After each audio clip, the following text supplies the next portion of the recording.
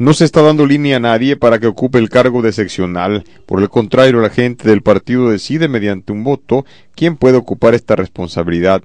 Lo mismo se aplicará en las diez secciones de la cabecera municipal, dijo en entrevista el presidente del PRI en el municipio, Rogelio García Villegas, al encabezar una reunión con vecinos de la calle Reforma que votan en la sección 2270, donde se eligió a Leobardo Villa, representante de esta sección electoral.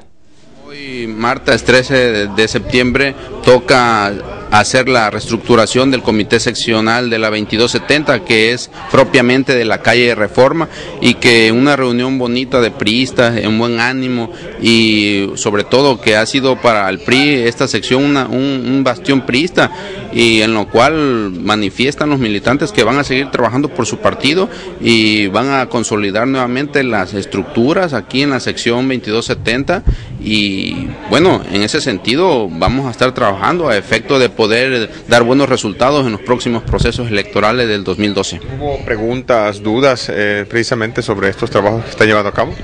Eh, Guillermo, pues eh, las dudas no, han salido porque hemos estado organizándonos de buena manera, hemos estado haciendo reuniones preparatorias para llegar a la, a la, a la reunión general en la cual ya se, se, saca al comité seccional y bueno, en ese sentido nos han salido muy bien las cosas. ¿Ahorita están trabajando solamente aquí en la cabecera municipal? Sí, propiamente comenzamos con la prioridad uno que es las 10 secciones electorales que están aquí en la cabecera municipal de Tecpan de Galeana y posteriormente vamos a ir a, las comunidades de la parte baja, media y alta de la sierra.